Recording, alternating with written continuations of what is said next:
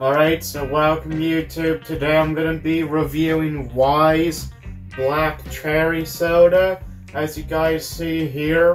Now, the reason why I wanted to do this video was because I've never seen a generic soda in a glass bottle, so I chose to pick it up to start off because they have like four or five different sodas. So let's get into this.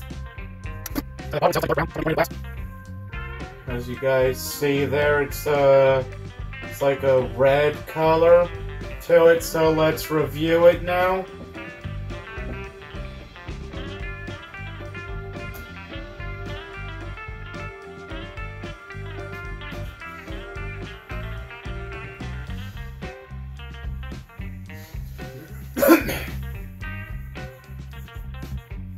Alright, so it has like this natural black cherry flavoring to it. Um, overall it is deep, it is good, but it isn't something I'm too crazy about.